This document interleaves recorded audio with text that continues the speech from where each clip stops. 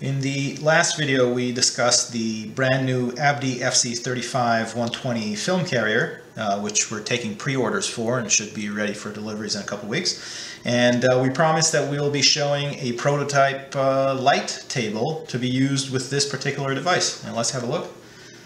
And here it is. This is just the prototype.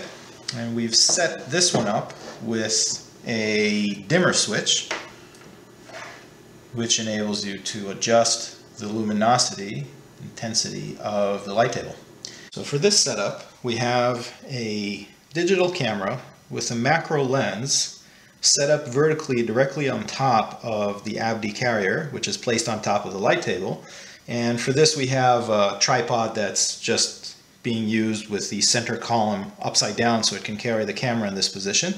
But you can use a copy stand or any other device that helps you keep the camera flat directly on top of the shooting field, which is the negative carrier. Here's a better view of the setup where you can see the camera lined up on top of the carrier. We have the exposure set in this video to show you our screen here. Uh, and I can use the preview screen to adjust the position of the frame. Now I'm scanning 645 uh, negatives, and so I can almost get two uh, frames in this position, but if I really wanted to maximize the resolution, I would turn the negative around and bring the camera in and just capture one frame at a time.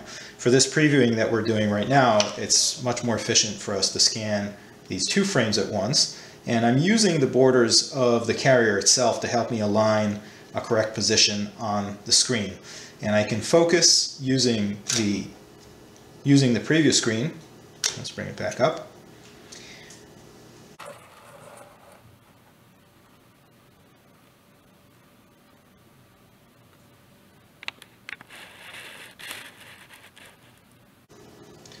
And I can also adjust the position of the negative to be exactly where I want it to be. And I have the exposure set on a relatively high speed, so I don't really need a cable release, but ideally, to prevent camera shake and any other movement, you'd want to get a cable release.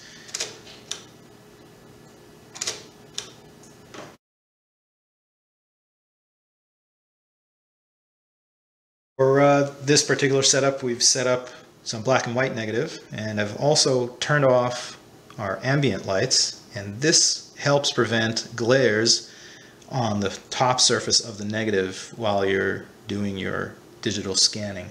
Uh, and let's shoot this. I'm just going to adjust the exposure a little bit uh, for the black and white negative as opposed to the color negative. Check the focus again.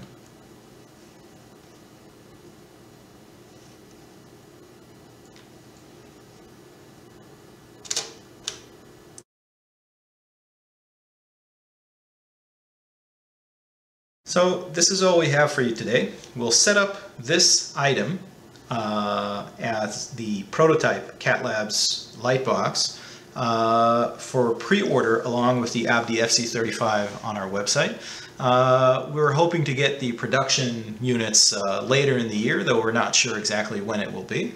In the interim, you can order these. Uh, and uh, for those of you who already ordered the ABDI 35 and want to add the light table, uh, just send us an email and we'll set up a custom order for you. Thanks so much for watching. Please don't forget to subscribe to our YouTube channel and stand by for more videos coming at you next week. Thanks.